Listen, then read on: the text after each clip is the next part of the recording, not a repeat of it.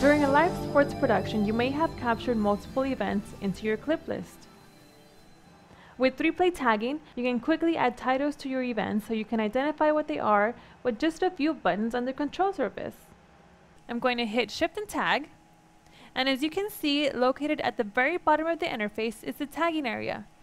Here, you can create your own categories with information that can be added to your events. Let's add a team name, player number, and action to one of our clips with just a few keystrokes on the control surface. So I'm going to select an event with no information on it, then hit tag. Now I'll add a team name, player number, and one last keystroke, an action. So as you can see, the tagging feature has allowed us to quickly add all this information without having to use a keyboard, which in a fast-paced production is very important. If you have many clips and need to locate a specific one, you can type a keyword here in the data viewport. So I'm going to do a search for a pass. And all the clips containing that information will appear in the clip list. This is another quick way to locate an event during crunch time. Here's a tip for tagging.